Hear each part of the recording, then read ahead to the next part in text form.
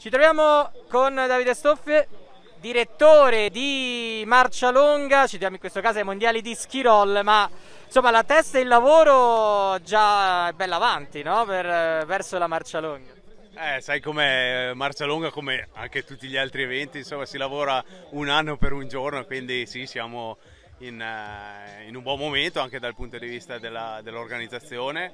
gli atleti ci sono, insomma, naturalmente i top eh, non mancheranno, ma soprattutto gli amatori vediamo un buon, un buon riscontro, insomma direi quasi normale come un anno pre-Covid, mettiamola così. Eh, no, no, il termometro dei fondisti è, è positivo, insomma, noi anche. Speriamo che l'autunno proceda nella giusta maniera, l'organizzazione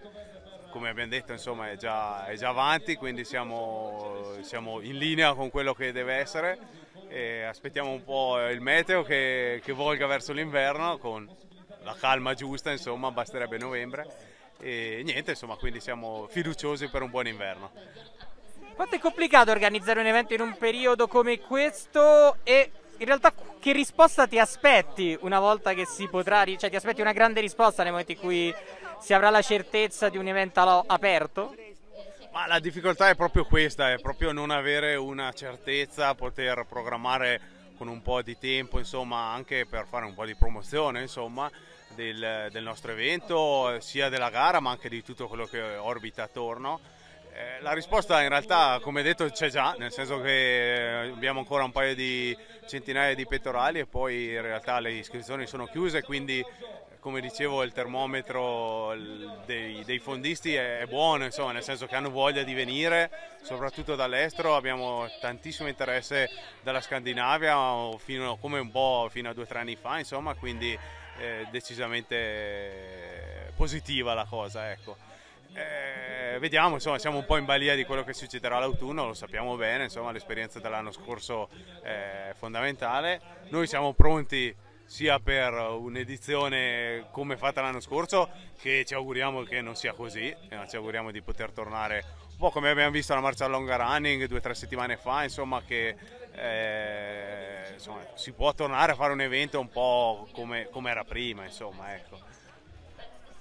E alla fine volevo chiederti qual è il segreto di Marcia Longa, tutta questa passione da parte della, della Norvegia, tanti norvegesi che sognano di venire qui di gareggiare, eh, anche, anche, tanti grandi atleti norvegesi, abbiamo visto Petter Northug qualche settimana fa e so anche qualche atleta italiano ancora in Coppa del Mondo che sogna un giorno di poter gareggiare nella marcia longa. Ma quando mi fanno questa domanda è sempre difficile rispondere, ogni tanto ci pensiamo